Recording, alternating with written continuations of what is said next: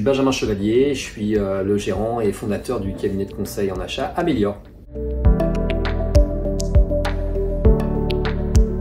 Je suis président du Centre de ressources des groupements d'employeurs d'Occitanie. Le Centre de ressources des groupements d'employeurs accompagne les groupements d'employeurs pour un emploi plus durable sur tout le territoire.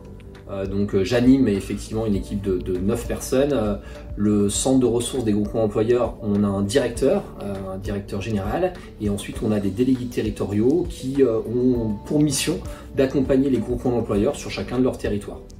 Les groupements d'employeurs, c'est une solution qui permet de sécuriser l'emploi, qui permet de sécuriser l'emploi pour l'employeur dans un premier temps, parce qu'on a un cadre juridique sur des missions à temps partiel hein, notamment, euh, puisque le groupement d'employeurs, son objectif, euh, c'est effectivement de trouver une solution euh, sur des volumes d'horaires qui sont effectivement beaucoup moindres.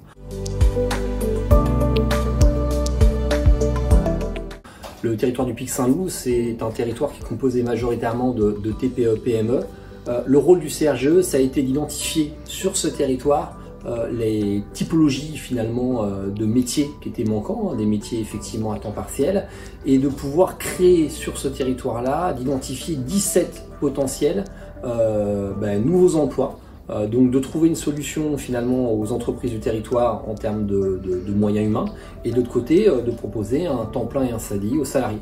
Donc euh, concrètement, on a comme ça euh, un peu plus de 4300 emplois euh, auprès de TPE, PME et associations sur l'ensemble du territoire d'Occitanie.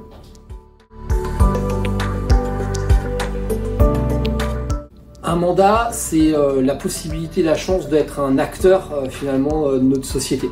la CPME, c'est une organisation patronale. on donne du temps pour pouvoir alimenter, pour pouvoir permettre euh, de faire fonctionner euh, un monde associatif. Euh, par son rôle de chef d'entreprise, c'est de venir représenter dans une association les positions des chefs d'entreprise.